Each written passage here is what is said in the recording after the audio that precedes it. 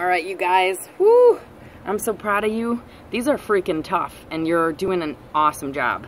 So we're gonna finish this week with some HIIT again, 45 seconds of work, 15 seconds of rest. We're gonna start with a side plank, knee in. I will show you the variations here. So I'm in a side plank here. I'm gonna come up and I'm gonna bring that knee and kick it back out. Knee in, kick out. Knee, this is more advanced. If you need to, you can knee in, replace, and rest for a second. Otherwise, you can make a kickstand. Here's my kickstand here. I'm gonna bring it in and out. Every time your knee comes in, you're blowing that air out. Okay, so you got 45 seconds on that side. Go to the other side, 45 seconds on that side. Then you got two reverse lunges with a burpee. So I'm here, reverse lunge, reverse lunge, burpee. Or you're stepping.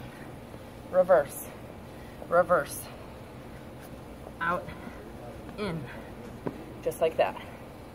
And after that, we got single, single, double curls into a raise. So we're gonna use, uh, we're gonna do it preacher style. Give that a second. So keep your weights in front of you here. You're gonna come down. You're gonna single, single, double, and stand up. Really gonna feel this in your core. Take a nice heavy weight if you can. Your biceps are stronger than you think. Back down. Single, single, double, and stand up.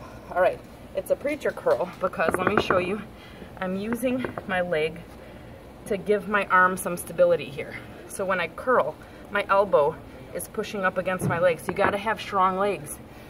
Strong legs to keep you stable. So single, single, double, and stand is what you're gonna do.